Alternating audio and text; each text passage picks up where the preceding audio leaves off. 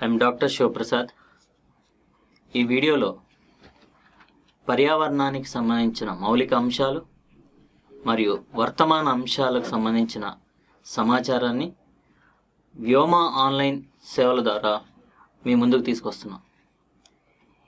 ఈ అంశాలకు సంబంధించి అనగా పర్యావరణ అంశాలకు సంబంధించి కొన్ని కొన్ని టాపిక్లు మనకి సిలబస్లో ఇచ్చిన టాపిక్లను ఆధారితంగా కొన్ని కొన్ని టాపిక్లను తీసుకొని వాటిని యొక్క పూర్తిగా వర్తమాన అంశాలు దానికి సంబంధించిన మౌలిక అంశాల గురించి పూర్తి సమాచారాన్ని మీ ముందుకు తీసుకొస్తున్నాం.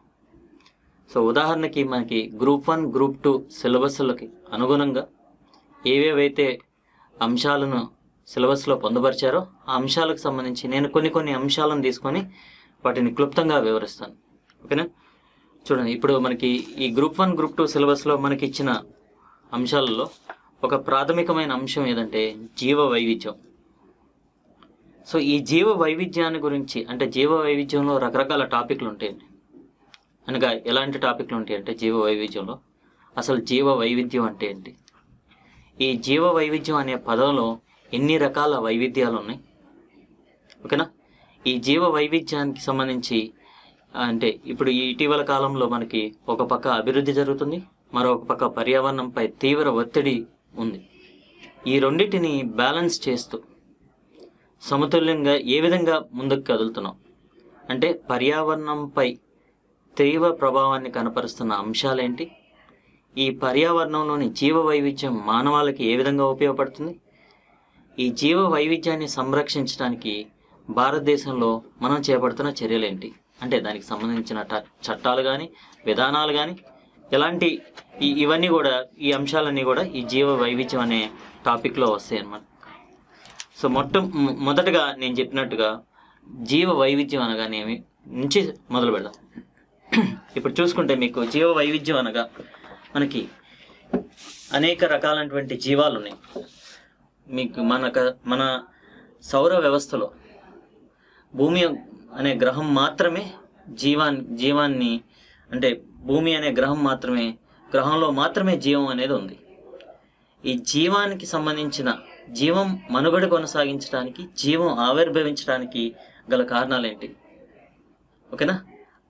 దానికి సంబంధించిన అంశం ఏంటంటే మొట్ట మొట్టమొదటి అంశం వాతావరణం. వాతావరణం వల్లే జీవం ఆవిర్భావం జరిగింది. అంటే వాతావరణం వల్ల కాదండి. వాతావరణంలో ఉన్న రకరకాలైనటువంటి సేంద్రియ మరియు అసేంద్రియ పదార్థాల వల్ల ఈ జీవం అనేది ఆవిర్భావం జరిగింది. ఇలా రకరకాల జీవాలు ఉన్నాయి మనకి. మొక్కలు అవ్వచ్చు అంటే అనగా వృక్షజాలం అవ్వచ్చు జంతుజాలం అవ్వచ్చు సూక్ష్మజీవులు అవ్వచ్చు.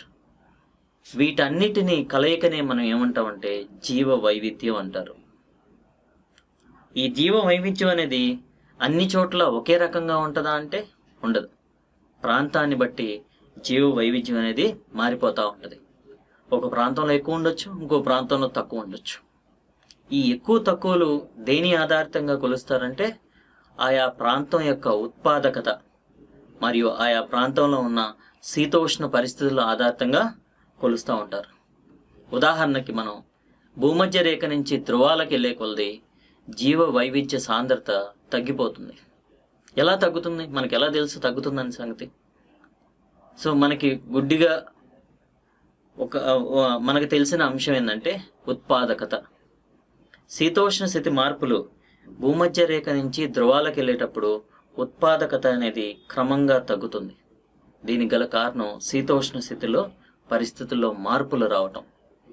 అదేవిధంగా జీవ వైవిధ్యం కూడా తగ్గుతూ ఉంటుంది.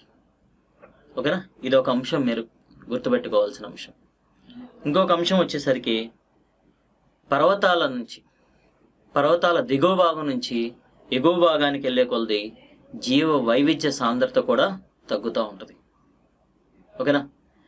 జీవం ఎక్కువగా నీటిలో ఎక్కువగా ఉందా నేలపై ఎక్కువగా ఉందంటే ఈ ప్రశ్నకి మనకి మనకు తెలిసిన ఇప్పుడు ఇప్పుడు మన దగ్గర ఉన్న సమాచారం ప్రకారం జీవం అనేది ఎక్కువగా నీటి ఆవరణ వ్యవస్థలో ఎక్కువగా ఉంది భూమి మీద కన్నా. అదేవిధంగా జీవ వైవిధ్యం కూడా నీటి ఆవరణ వ్యవస్థల్లోనే ఎక్కువగా ఉంది. ఓకేనా?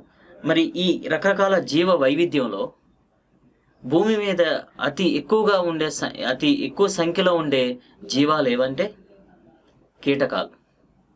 రెండవది వచ్చేసరికి వృక్షాలు. మూడవది వచ్చేసరికి శిలీంధ్రాలు. ఓకేనా? వీటన్నిటిని ఈ విధంగా జీవ వైవిధ్యంలో మనం రకరకాలుగా అంశాలను చదువుకోవచ్చు. అంటే ఇది నేను మీకు ఇప్పుడు చెప్పిందంటా కూడా ఇంట్రడక్షన్లో ఒక భాగం అన్నమాట.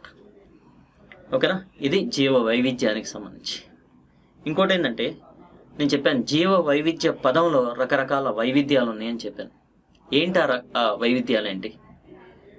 ఈ బయోడైవర్సిటీ లేక జీవ వైవిధ్యం అనే పదంలో మూడు రకాల వైవిధ్యాలను చేర్చారు.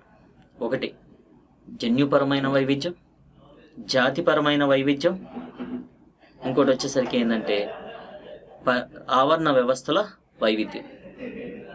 దీన్ని జీవ వైవిధ్యం అంటే జన్యుపరమైన వైవిధ్యం అంటే ఏమంటారంటే జెనెటిక్ డైవర్సిటీ అంటారు. జాతిపరమైన వైవిధ్యం అని ఏమంటారంటే స్పీషీస్ డైవర్సిటీ అంటారు. అండ్ నెక్స్ట్ వన్ వచ్చేసరికి ఆవరణ వ్యవస్థల వైవిధ్యం అని ఏమంటారంటే ఎకోసిస్టమ్ డైవర్సిటీ అంటారు. ఒక్కొక్క అంశాన్ని తీసుకొని పూర్తిగా క్లుప్తంగా వివరిస్తాను చూడండి. జన్యు వైవిధ్యం. జన్యు వైవిధ్యం అంటే ఏంటంటే ఏదైనా ఒక జీవజాతిలోని జన్యు మార్పులను గురించి చదివేదాన్నే జన్యు వైవిధ్యం అంటారు. ఓకేనా? ఉదాహరణకు మీరు తీసుకుంటే ఇప్పుడు చూడండి రకరకాల వరి వంగడాలు ఉంటాయి. ఇలా రకరకాల వరి వంగడాలను తయారు చేయడానికి ప్రధాన కారణం ఏంటి? జన్యువులలో మార్పును తీసుకురావటం వల్ల. జన్యు వైవిధ్యం వల్ల ఇన్ని రకాలైనటువంటి వరి వంగడాలను మనం తయారు చేయగలిగాం.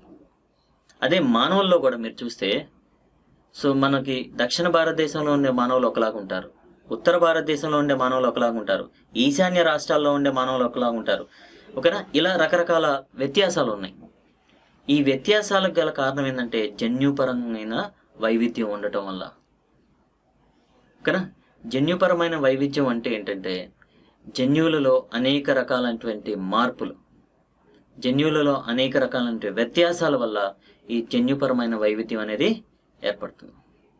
సో నేను ఇచ్చిన ఆ రెండు ఉదాహరణలే జన్యుపరమైన వైవిధ్యానికి సంబంధించి.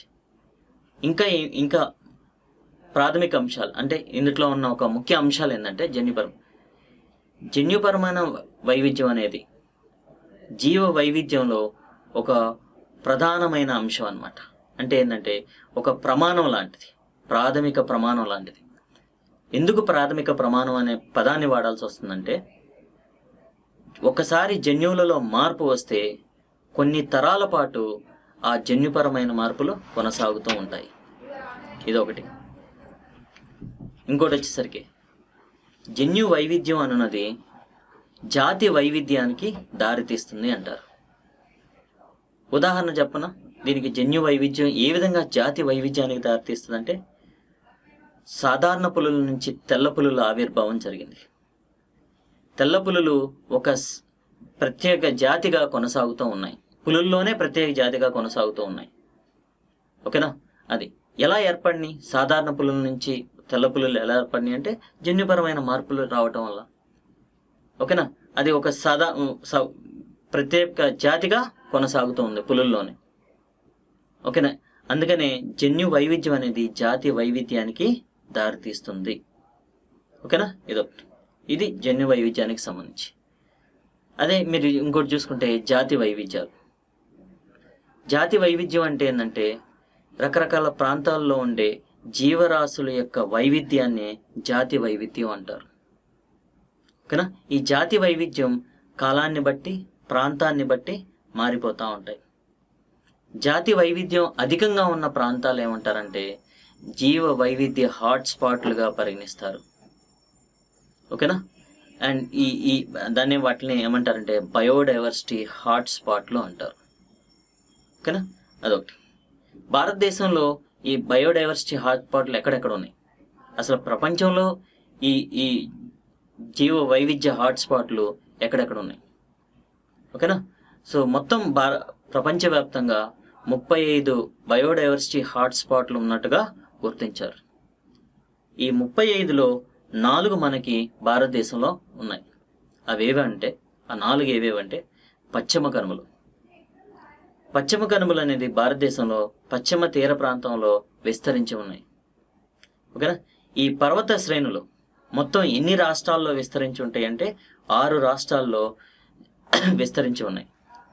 ఈ పశ్చిమ కనుమల పర్వత శ్రేణుల్లో జీవ వైవిధ్య సాంద్రత ఎక్కువ ఉండటం వల్ల దానిని జీవ వైవిధ్య హాట్స్పాట్లుగా పరిగణిస్తారు. ఏంటి ఆ ఆరు రాష్ట్రాలు ఏంటి? వాటిని వరుస క్రమంలో మీరు గుర్తుంచుకోవాల్సిన ఆవశ్యకత ఉంది.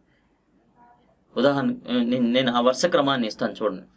కేరళ తమిళనాడు కర్ణాటక గోవా మహారాష్ట్ర గుజరాత్ రాష్ట్రాల్లో ఈ పర్వత శ్రేణులని విస్తరించండి. ఇంకోటి వచ్చేసరికి హిమాలయ ప్రాంతం. హిమాలయ ప్రాంతం అంటే ఒక ఈశాన్య రాష్ట్రాలే రావండి. జమ్మూ అండ్ కాశ్మీర్ నుంచి మొదలు పెట్టుకొని మనం అరుణాచల్ ప్రదేశ్ దాకా ఈ హిమాలయ పర్వత శ్రేణులు విస్తరించి ఉన్నాయి. ఈ హిమాలయ పర్వత శ్రేణులను విస్తరించి ఉన్న ప్రాంతం మొత్తం కూడా జీవ వైవిధ్య హాట్స్పాట్లు అంటారు. ఓకేనా? అదొకటి. ఇంకోటి వచ్చేసరికి అండమాన్ నికోబార్ దీవులు. ఇంకోటి వచ్చేసరికి ఇండో బర్మా ప్రాంతం. ఓకేనా? ఈ నాలుగు జీవ వైవిధ్య హాట్స్పాట్లు భారతదేశంలో ఉన్నాయన్నమాట. మామూలుగా మీరు పుస్తకాల్లో చదివేటప్పుడు అండమాన్ నికోబార్ దీవులు కనిపించదన్నమాట దాని బదులు అక్కడ ఏమని పేరు రాసి ఉంటారంటే సూండా ల్యాండ్ అనే పదం వాడుంటారు. ఈ సూండా ల్యాండ్ అంటే ఏంటంటే అండమాన్ నికోబార్ దీవులు మరియు ఈ పశ్చిమాసియా దేశాలు కలయికనే దాన్ని సూండా ల్యాండ్ అని అంటారు. ఓకేనా? ఇవి ప్రధానమైన నాలుగు జీవ వైవిధ్య హాట్స్పాట్లు. ఓకేనా? ఈ జీవ వైవిధ్య హాట్స్పాట్లోనే జాతి వైవిధ్య సాంద్రత అనేది ఎక్కువగా ఉంటుంది. ఓకేనండి ఇది రెండో దానికి సంబంధించి. మూడోది ఇచ్చేసరికి. మూడోది ఏమని చెప్పాను నేను మీకు? జీవావరణ వైవిధ్యాలు. ఓకేనా? జీవావరణ వైవిధ్యాలు అంటే ఏంటంటే అంటే ఆవరణ వ్యవస్థల వైవిధ్యం అని కూడా అనొచ్చు అండి. ఆవరణ వ్యవస్థల వైవిధ్యం అంటే ఏంటంటే మనం భూమధ్య రేఖ నుంచి ధ్రువాలకు వెళ్ళేటప్పుడు రకరకాల ఆవరణ వ్యవస్థలు అనేది మనకు కనిపిస్తూ ఉంటాయి. అంటే మీకు ఉదాహరణకి నేను ఒక ఉదాహరణకి చెప్పుకుంటా వస్తాను చూడండి. భూమధ్య రేఖ దగ్గర చూస్తే మనకి సతిత హరిత వనాలు కనిపిస్తాయి. అదొక రకమైన ఆవరణ వ్యవస్థ. భూమధ్య రేఖ నుంచి దగ్గర నుంచి మనం ఉప ఉష్ణమండల ప్రాంతాలకు వెళ్ళే కొద్దీ ఆకురాలు చాలుడు కనిపిస్తాయి. మరియు అక్కడి నుంచి ఉష్ణమండల ప్రాంతాలకు వెళ్ళే కొద్దీ ఒక పక్క ఎడార్లు కనిపిస్తాయి మరొక పక్క గడ్డి భూములు కనిపిస్తాయి. అక్కడి నుంచి ధ్రువ ప్రాంతాలకు వెళ్ళే కొద్దీ శీతోష్ణ ఎడార్లు కనిపిస్తాయి. వాటిని ఏమంటారంటే శీతల ఎడార్లు అని కూడా అంటారు. ఓకేనా? టుండ్రా బయోమ్స్ అంటే టొండ్రా ఎకోసిస్టమ్స్ అంటారు. ఓకేనా? ఇలా మనం భూమధ్య రేఖ దగ్గర నుంచి ధ్రువాలకు వెళ్ళే కొలిది రకరకాల ఆవరణ వ్యవస్థలను చూస్తూ ఉంటాం. కొన్ని కొన్ని ప్రాంతాల్లో అనేక రకాలైనటువంటి ఆవరణ వ్యవస్థలు ఉంటాయి. వాటి యొక్క శీతోష్ణ పరిస్థితులకు ఆధారంగా ఇలా రకరకాల అయినటువంటి ఆవరణ వ్యవస్థలు ఒక నిర్దిష్ట కాలంలో నిర్దిష్ట ప్రాంతంలో ఉండే వ్యత్యాసాన్ని ఏమంటారంటే ఆవరణ వైవిధ్యం జీ ఆవరణ వ్యవస్థల వైవిధ్యం అని అంటారనమాట ఓకేనా? ఇది దీనికి సంబంధించి. సో జీవ వైవిధ్యం అనే పదంలో మూడు వైవిధ్యాలు ఉంటాయని చెప్పేసి చెప్పాను. ఆ మూడు వైవిధ్యాలకు సంబంధించిన పూర్తి సమాచారం ఇది. ఓకేనా? నెక్స్ట్ వచ్చేసరికి ఇంకోటి వచ్చేసరికి ఏంటి జీవ వైవిధ్యం వల్ల అసలు మన మానవులకి ఏ విధమైన ఉపయోగం ఉంటుంది? ఎందుకు మనం జీవ వైవిధ్యం గురించి ఇంతగా దృష్టి సారించాలి? ఓకేనా? ఎందుకు సాధించాలంటే మనకు జీ జీవ వైవిధ్యం అనేది మానవులకి రకరకాలుగా ఉపయోగపడుతుంది. ఎలా ఉపయోగపడుతుందంటే సాంఘికంగా ఉపయోగపడుతుంది. అంటే సాంఘిక మరియు సాంస్కృతికంగా కూడా ఉపయోగపడుతుంది. ఓకేనా? నెక్స్ట్ వన్ ఇంకోటి వచ్చేసరికి కాలక్షేపానికి కొరకు ఉపయోగపడుతుంది. నేను చెప్తాను కాలక్షేపం కొరకు అని ఏంటంటే ఇంకోటి వచ్చేసరికి మనకి ముందు తరాల వాళ్ళకి ఈ జీవ వైవిధ్యాన్ని అందించే క్రమంలో కానీ ముందు తరాల వాళ్ళకి ఈ జీవ వైవిధ్య సంబంధించిన ఉపయోగాలను అందించే విధంగా కానీ నెక్స్ట్ వన్ వచ్చేసరికి వాణిజ్యపరమైన ఉపయోగాలు. నెక్స్ట్ వన్ వచ్చేసరికి ఆహారపరమైన ఉపయోగాలు. ఓకేనా అండ్ నెక్స్ట్ వన్ వచ్చేసరికి ఇలా రకరకాల మనకి జీవ వైవిధ్యం అనేది ఉపయోగాలు అనేది ఉన్నాయి. సే ఉదాహరణకి మీరు తీసుకుంటే వాణిజ్యపరమైన ఉపయోగాలు. అంటే కమర్షియల్ యూజెస్ ఏంటి మనకి? జీవ వైవిధ్యాన్ని ఏ విధంగా వాణిజ్యపరంగా మనం వినియోగించుకుంటున్నాం? చూడండి ఇప్పుడు మనకి కలప లేకపోతే వంట చెరుకు. వంట చెరుకు దేనికి ఉపయోగపడితే వంట వండుకోవడానికి ఉపయోగపడుతుంది అనమాట ఇప్పుడు ఇప్పుడున్న పరిస్థితుల్లో మనకు ఇటీవల రిపోర్ట్ల ప్రకారం చూసుకుంటే భారతదేశంలో నివసించే గ్రామీణ ప్రజలు శక్తి వనరు కొరకు శక్తి ఉత్పత్తి కొరకు డెబ్బై శాతం మంది ప్రజలు ఈ వంట చెరుకు మీద ఆధారపడుతున్నారు. అదొకటి. అది ఈ వంట చెరుకు అనేది ఎక్కడి నుంచి వస్తుంది? వృక్షజాలం నుంచి వస్తుంది. వృక్షజాలం అనేది దేనిలో భాగం? జీవ వైవిధ్యంలోనే భాగం. ఓకేనండి అదొకటి. అదొక వాణిజ్యపరమైన ఉపయోగం మనకి. ఓకేనా? నెక్స్ట్ నీస్ ఇంకోటి తీసుకుంటే. కలప. కలప దేనికి వస్తుంది? గృహాలలో రకరకాల వస్తువులను తయారు చేసుకోవడానికి కలపను వినియోగిస్తాం. నెక్స్ట్ నీస్ ఈ వృక్షజాలం నుంచి రకరకాలైనటువంటి మనకి ఫైబర్స్ అంటే ఏంటంటే ఈ పత్తి నుంచి వెలిగి తీసే మనం ఫైబర్లు కానీ దేనికి ఉపయోగిస్తారు? ఇవి వస్త్రాలను తయారు చేయడానికి ఉపయోగిస్తారు. అదే మీకు వచ్చేసరికి జనపనార ఓకేనా? ఇలా సిల్క్ పట్టు పట్టు చీరలు నేయటానికి ఎక్కడి నుంచి తీస్తారు? పట్టు పరిశ్రమ పట్టు పురుగుల నుంచి తీస్తారు. పట్టు పురుగులు అనేది జీవ వైవిధ్యంలో ఒక భాగమే కదా? ఓకేనా? ఇలా రకరకాల ఇది ఒక వాణిజ్యపరమైన ఉపయోగం. ఇంకో ఉపయోగం వచ్చేసరికి వాణిజ్యపరంగా ఏ విధంగా మనం ఉపయోగించుకుంటామంటే ఔషధాలు రకరకాల మొక్కల నుంచి. ఉదాహరణకు మలేరియాను నియంత్రించడానికి రిసోచిన్ లేక క్లోరోక్వినైన్ అనే ఔషధాన్ని మొక్కలను బెరడు నుంచే తీస్తారు. ఓకేనా? నెక్స్ట్ నీస్ మొట్టమొదటి యాంటీబయాటిక్ను శిలీంధ్రాల నుంచి పెన్సిలియం అనే పెన్సిలియం నొటాటం అనే శిలీంధ్రం నుంచి తీసాం నెక్స్ట్ వన్ వచ్చేసరికి ఇన్సులిన్ ఉత్పత్తి అనేది e. ఈకోలై బ్యాక్టీరియా ద్వారా జరుగుతుంది. ఓకేనా నెక్స్ట్ వన్ వచ్చేసరికి ఇలా మనకి రకరకాల జీవాల నుంచి రకరకాల ఔషధాలను వెలికి తీస్తూ ఉన్నాం. జీవ వైవిధ్యం లేకపోతే ఇవన్నీ మనకి దొరకవు. ఈ వాణిజ్యపరమైన ఉపయోగాలనేది జీవ వైవిధ్యం ఉన్నప్పుడు మాత్రమే లభిస్తాయి. అదొకటి. నెక్స్ట్ వన్ ఈస్ ఆహార పరంగా ఏ విధంగా ఉపయోగపడుతుంది మనం ప్రొద్దున్న లేచిన కాడ నుంచి రాత్రి పనుకునే దానికి పనుకునే వరకు రకరకాల ఆహార పదార్థాలని తీసుకుంటూ ఉంటాం. పాలు పశువుల నుంచి వస్తుంది. నెక్స్ట్ ఈస్ మనం తినే టిఫిన్ కానీ ఓకేనా? ఆహార పంటల నుంచి వస్తాయి. ఓకేనా? మాంసకృతులు రకరకాల మాంసాహారం నుంచి వస్తుంది. ఓకేనా? ఇలా రకరకాల ఆహారాలు రకరకాల జీవాల నుంచి వెలికి తీస్తాం మనం. ఇలా ఇవి రకరకాల ఆహారాలు మనకి ఎలా లభిస్తున్నాయంటే జీవ వైవిధ్యం ఉండబట్టే లభిస్తున్నాయి. ఓకేనా? ఇది ఆహారపరమైన ఉపయోగాలు. సాంస్కృతిక పరమైన ఉపయోగాలు. మన హిందూ సాంప్రదాయంలో భాగంగా పర్యావరణాన్ని పూజిస్తూ ఉంటాం. చెట్లను పూజిస్తాం పాములను పూజిస్తాం ఆవులను పూజిస్తాం ఇలా. ఇది సాంస్కృతికపరమైన ఉపయోగాలు. ఓకేనా? నెక్స్ట్ నీస్ సాంకేతికపరమైన ఉపయోగాలు ఏ విధంగా ఉంటాయి? ఈ జీవ వైవిధ్యం ని మనం పూర్తిగా దాన్ని దాని గురించి సమాచారాన్ని సేకరించడం ద్వారా వాటిని భద్రపరచడమే కాకుండా ముందు తరాల వాళ్ళకి ఇప్పుడు మనం ఏవైతే జీవ వైవిధ్యాన్ని ఎంత శుద్ధంగా లేకపోతే ఏ విధమైన స్థాయిలో వినియోగించుకుంటున్నామో అదే స్థాయిలో ముందు తరాల వాళ్ళకి అందించగలుగుతాం. కానీ ఇలా అందించడం ద్వారా సుస్థిర అభివృద్ధిని లేకపోతే సుస్థిర లక్షణ లక్ష్యాలను మనం అందుకోగలం. ఓకేనా? అదొకటి. ఇది జీవ వైవిధ్యం యొక్క ఉపయోగాలు. ఇన్ని ఉపయోగాలు ఉన్నాయి కానీ ఇన్ని ఉపయోగాలు ఉన్నా జీవ వైవిధ్యాన్ని మనం ఎందుకు భారతదేశంలో సంరక్షించలేకపోతున్నాం? ఓకేనా? మీ ఇటీవల మీకు ఐయుసిఎన్. ఐయుసిఎన్ అనేది ఒక అంతర్జాతీయ జీవ వైవిధ్య సంరక్షణ సంస్థ.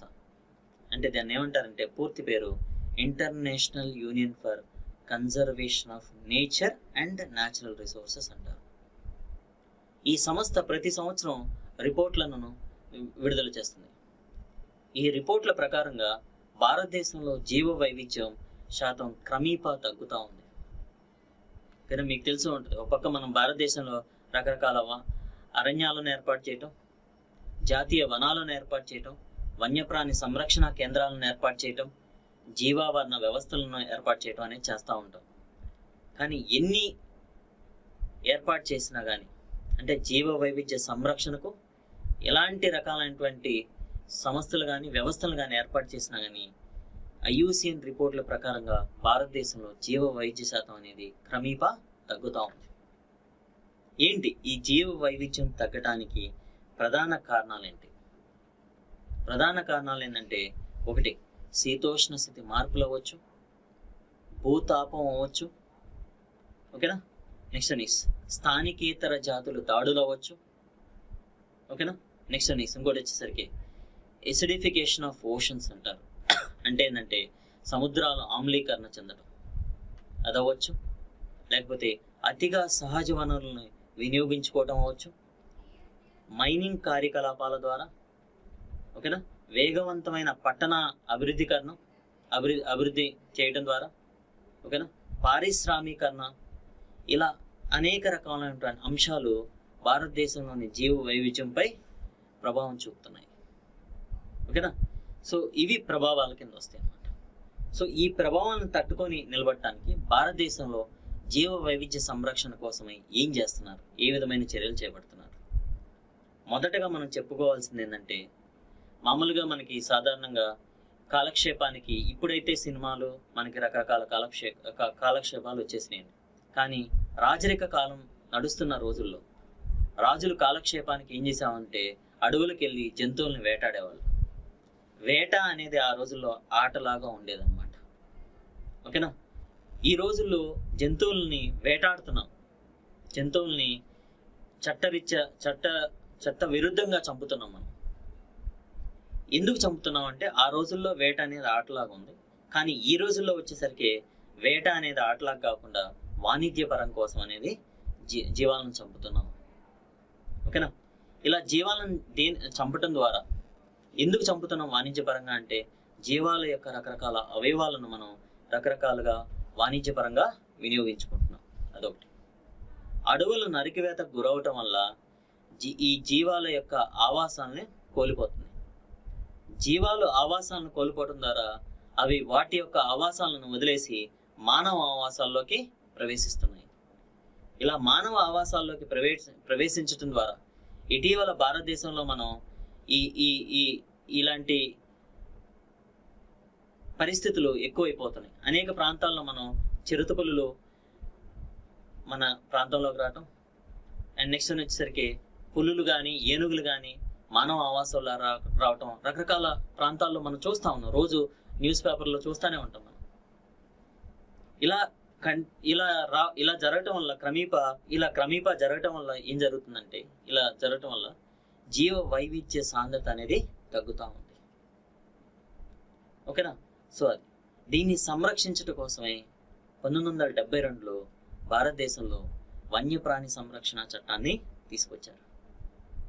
భారతదే ప్రపంచంలోనే భారతదేశం అనేది మొట్టమొదటి దేశం వన్యప్రాణి సంరక్షణ చట్టాన్ని రాజ్యాంగంలోకి ప్రవేశపెట్టిన దేశం. ఈ వన్యప్రాణి సంరక్షణ చట్టాన్ని తేవటం ద్వారా మనం జీవ వైవిధ్యాన్ని భారతదేశంలో సంరక్షించగలుగుతున్నాం. కొంతవరకు బాగానే సంరక్షించగలిగాం ఈ చట్టం తీసుకురావటం వల్ల. చట్టానికి ముందు చట్టం తర్వాత కొంత మార్పులు మనం గమనించగలిగాం అన్నమాట. ఈ చట్టం కింద ఏం చేస్తున్నారు? ఏ విధంగా జీవ వైవిధ్యాన్ని సంరక్షిస్తున్నారు చట్టం కింద? ఓకేనా? జాతీయ జీవ వైవిధ్య బోర్డును ఏర్పాటు చేశారు. జాతీయ జీవ వైవిధ్య బోర్డు అనే దానికన్నా కూడా ఇంకో పదం ఉందండి దీనికి. దాన్ని ఏమంటారంటే జాతీయ వన్యప్రాణి సంరక్షణ బోర్డు అంటారు. ఈ బోర్డు అనేది భారతదేశంలోనే అంటే భారతదేశానికి క్యాబినెట్ ఎలానో ఓకేనా? పర్యావరణానికి సంబంధించిన ఈ బోర్డు అనేది క్యాబినెట్ లాగా వ్యవహరిస్తుంది అనమాట అంటే ఏంటంటే భారత ప్రభుత్వానికి పర్యావరణానికి సంబంధించిన ఎప్పటికప్పుడు అంశాలకు సంబంధించి సూచనలను సలహాలను ఇస్తూ ఉంటుంది. అంటే సూచనలు సలహాలు అంటే ఏంటంటే ఎక్కడ వన్యప్రాణి సంరక్షణ చట్టాలను ఏర్పాటు చేయాలి ఎక్కడ జాతీయ వనాలను ఏర్పాటు చేయాలి ఎక్కడ పులుల సంరక్షణ కేంద్రాలను ఏర్పాటు చేయాలి ఏ విధంగా ఏర్పాటు చేయాలి ఈ- ఈ అంశాలకు సంబంధించి ఎప్పటికప్పుడు భారత ప్రభుత్వానికి సూచనలు సలహాలను అందిస్తూ ఉంటుంది. ఈ చట్టం కిందే మనం ఐదు రకాలైనటువంటి జీవ వైవిధ్య సంరక్షణ ప్రాంతాలను ఏర్పాటు చేశాం. ఒకటి వచ్చేసరికి వన్యప్రాణి సంరక్షణ కేంద్రాలు. వాటిని మామూలుగా సాధారణంగా అయితే సంరక్షణ కేంద్రాలు అంటారు. సంరక్షణ కేంద్రాల కిందే పక్షి సంరక్షణ కేంద్రాలు వస్తాయి వన్యప్రాణి సంరక్షణ కేంద్రాలు వస్తాయి. జాతీయ వనాలు ఓకేనా? సామూహిక పార్కులు లేకపోతే సామూహిక సంరక్షణ ప్రాంతాలు ఓకేనా? నెక్స్ట్ సంరక్షణ వ్యవస్థలు నెక్స్ట్ వన్ వచ్చేసరికి టైగర్ రిజర్వ్స్ ఓకేనా పులుల సంరక్షణ కేంద్రాలు. ఈ ఐదు ప్రాంతాలు అంటే ఈ ఐదు వ్యవస్థలను ఏర్పాటు చేయడం ద్వారా జీవ వైవిధ్యాన్ని మన భారతదేశంలో సమర్థవంతంగా సంరక్షించగలుగుతున్నాం. ఇంతకు ముందులతో పోలిస్తే ఇప్పుడు కొంచెం పర్లేదు. కానీ ఐయుసిఎన్ రిపోర్టుల ద్వారా చూస్తే జీవ వైవిధ్యం అనేది క్రమేపా తగ్గుతుందని చెప్పాను కాబట్టి అది కాంట్రడిక్టరీగా ఉంటుంది. మీకు ఓకేనా? అది వేరు. ఓకేనా? సంఖ్య తగ్గుతుంది. సంరక్షణ పరంగా కొంతవటికి చర్యలను మనం పటిష్టం చేయగలిగాం. ఓకేనా? అది దానికి సంబంధించి. ఇది జీవ వైవిధ్య సంరక్షణకు సంబంధించి.